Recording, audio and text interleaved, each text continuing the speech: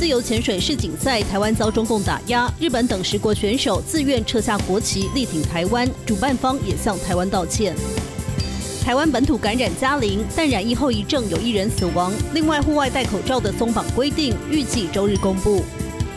中共日前宣布双开孙立军，十一政坛气氛诡谲。专家指出，十一月六中全会恐有更大政治地震。花莲曼波饭店拆除过程中突然应声倒塌，警消初步巡视，暂无人员伤亡。更详细的新闻内容，请锁定新唐人亚太晚间八点新闻。